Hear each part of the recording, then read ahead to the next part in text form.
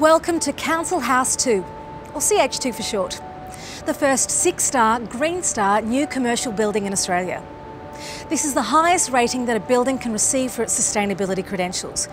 And even though it was built over 10 years ago, it's still a building that people travel to to learn about. This video will be introducing you to this world class building and will give you a snapshot of its sustainability credentials. CH2 can generate more than 15% of its own power. It uses passive systems to heat and cool the building while keeping its occupants comfortable and healthy. It proves that being sustainable and healthy is not only good for the environment, but also the social and economic outcomes. This building cost around $56 million to build in 2006. Around 20% of that cost went towards environmental design features, roughly $11 million. That sounds like a lot of money, but these costs were offset by a 10% improvement on well-being and productivity, saving $2.4 million per year and paying it off in the first five years.